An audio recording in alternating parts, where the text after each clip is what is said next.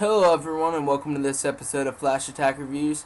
Today we got for you the Espresso episode. This episode we hurry up and since we've been dealing with the weather the past couple weeks, we wanted to get through the ones we've missed so far.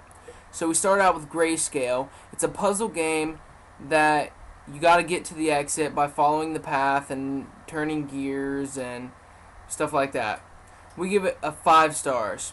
Our next one is Reincarnation. Out to see you die. You have to bring people who escape hell, point and click type puzzle game, blah blah blah. Six stars. Cargo Bridge Armor Games version. We give it an eight stars. Same thing as the original Cargo Bridge. You just build the bridge, except for we liked this one ten times better than the other ones.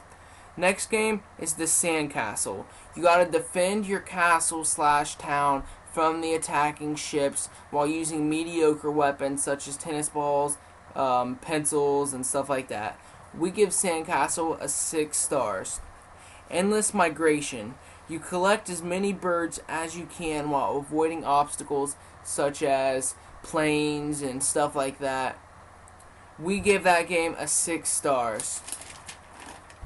Snowmageddon. Snowmageddon is where you got to defend your house against a bunch of mutant snowmen that are attacking the whole world. We give that game a 7 stars. The next game is Helicops. You fly around and shoot down enemy helicopters and buy upgrades and shoot down enemies on buildings and such like that. We give that game a 7 stars. Thank you everyone for watching and please don't forget to comment and subscribe.